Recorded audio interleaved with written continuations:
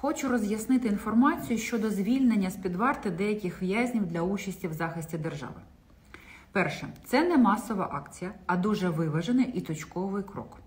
Простою людською мовою кажучи, населенню хвилюватися за те, що через це кримінал заполонить вулиці, не варто.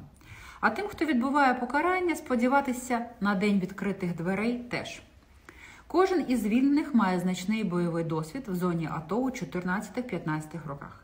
Всі вони є запеклими противниками руского міра, а один взагалі автор відомої пісні українських болівальників про головного агресора.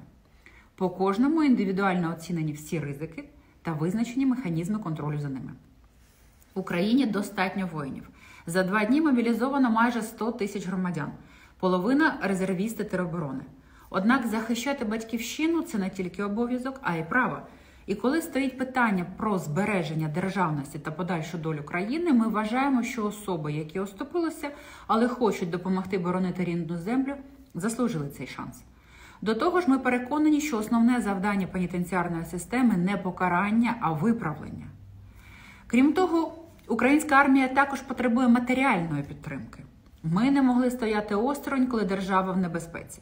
Прокурори всіх рівнів по всій країні приймають рішення про зняття арештів та передачу на потреби ЗСУ Нацгвардії техніки та озброєння, а також пального вилучене в ході розслідування кримінальних проваджень.